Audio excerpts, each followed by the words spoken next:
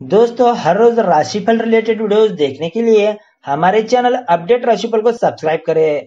दोस्तों, इस चैनल पर आपको हर रोज सटीक भविष्यवाणी, साथ ही आपके जीवन में आ रहे सभी परेशानियों का समाधान मिलने वाला है तो आप भी हमारे चैनल अपडेट राशिफल को सब्सक्राइब करें।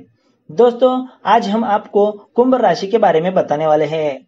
कुंभ राशि वाले लोग पिछले जन्म में क्या थे, जानिए राज की बात।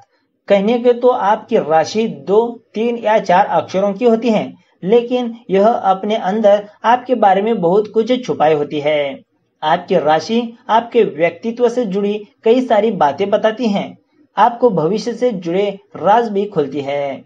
मगर हम इंसानों का स्वभाव होता है कि हम जितना अपने भविष्य को जानने में रुचि रखते हैं, उतना ही हम अपने अतीत या पिछले जन्म के बारे में जानने को भी उत्सुक रहते हैं।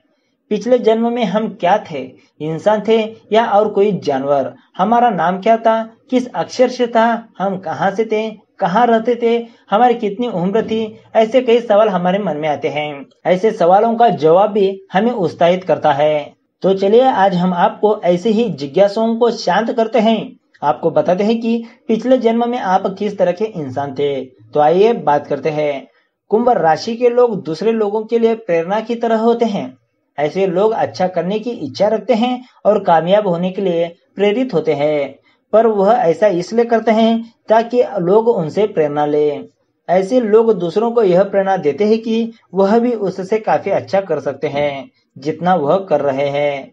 अपने पिछले जन्म में ऐसे लोग या तो प्रेरक, मार्गदर्शक या नेता रहे होंगे, यानी कि कुंभ राशि वाले लोग पिछले जन्म में प्रेरक, मार्गदर्शक या नेता रहे होंगे। तो दोस्तों, आज की इस वीडियो में बस इतना ही। वीडियो कैसा लगा कमेंट करके ज़रूर बताएँ, साथ ही इस आश्चर्यजनक राज को अपने दोस्तों के संग शेयर करना ना भूले। तो मिलते हैं एक नए वीडियो के साथ। धन्यवाद।